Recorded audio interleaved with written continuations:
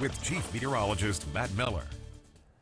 A lot of cloud cover hanging around the area for the next couple of days. This system is going to be tough to completely get rid of in the next 48 hours even. Uh, but we are at least going to lose the majority of the rain showers. Those are moving through this evening and then again into part of the night. We'll see some of those showers sliding off to the east and then things should dry out. After this round of rain, we're largely done with the precipitation, but the wind is not going to be done with yet. The clouds won't be. We'll have that hanging around on Wednesday. We will start clearing out Thursday into Friday. Should have a lot of sunshine and then warmer conditions start to return later in the weekend and into the start of next week. Rain right now across the central areas, kind of a light to moderate rain, a steady rain, may pick up a few hundredths of an inch out of this, maybe a tenth of an inch tops. That'll push on to the east and to the southeast over the course of the evening hours. Cloudy sky right now at Holton. Cloudy, waiting on the rain to return back into the Lawrence area after cooling off. Showers falling, hitting the lens. It's not raining that heavily that can't see across the city. That's just literally hitting the lens as it's facing northward there.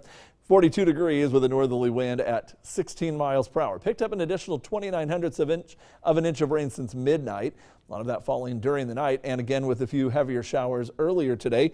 We made it up to our expected high of 54 before the cold front came in, and now we're turning quite a bit cooler, but it is below average. Average highs back up to 60, and we're looking at much chillier weather than that over the next uh, several days, really. It'll take a while to warm back up. Yesterday's rain exceeded an inch at Emporia. Lots of the area picked up between about half to an inch. And then we added to that during the course of the night additional amounts of almost an inch of rain over the west and anywhere from about a quarter of an inch or a little bit less than that over some of the eastern areas. So nice, good soaking rain over the last two days. Temperatures in the 30s and low 40s across all areas right now. 39 at St. Mary's as well as Sabetha, 42 at Topeka, 45 Lyndon and that colder wind making it feel like it's in the low 30s over a large area. The strong wind, the chilly temperatures, but that 15 to 30 mile per hour north wind will turn more northwesterly as we head throughout the overnight and through the day tomorrow. Really not looking at any decrease in the wind strength for the next 24 hours.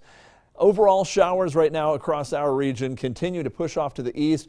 Numerous severe thunderstorms erupting across parts of Louisiana and Mississippi, moving over into Alabama. That's where the targeted area is uh, today for severe weather, off toward that south and eastern portion of the storm. You know, one of these days it's going to come farther to the north, and so we want to get you geared up for the upcoming severe weather season. We've got a couple of weather radio programming events coming up Thursday of this week, 3:30 to 6:30.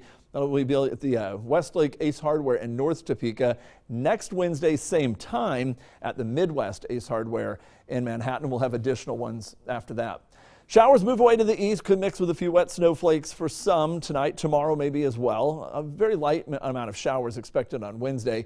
As we head through Wednesday night and Thursday, still holding onto the clouds through the majority of the day, but we finally should start clearing out late Thursday. Tonight, showers push off to the east, cold wind 35, then 45 tomorrow, still breezy and chilly with a 15 to 30 mile per hour northwest wind.